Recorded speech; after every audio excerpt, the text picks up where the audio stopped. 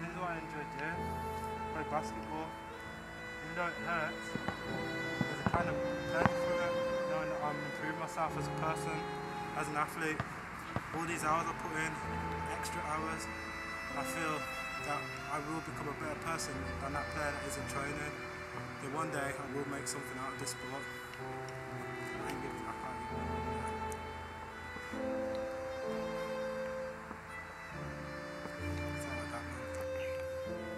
basketball.